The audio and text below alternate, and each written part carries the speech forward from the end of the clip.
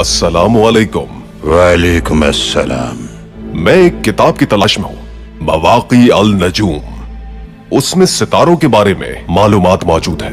क्या आपके पास मिल जाएगी? जी बिल्कुल।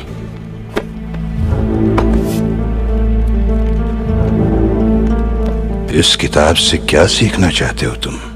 इस किताब की खूबियों के बारे में मैंने बहुत कुछ सुन रखा है। तो मैं भी इसके ज़रिए से मुस्तकबिल का हाल जानना चाहता हूँ। क्या कीमत है? ये तोहफा है हमारी तरफ़ से। कहते हैं कि जो जस्तजू करके हिदायत पाले उसे सितारों की कोई ज़रूरत नहीं पड़ती।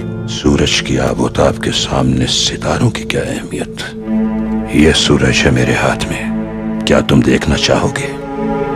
हम्म। इसे छुए मगर बावजू होकर।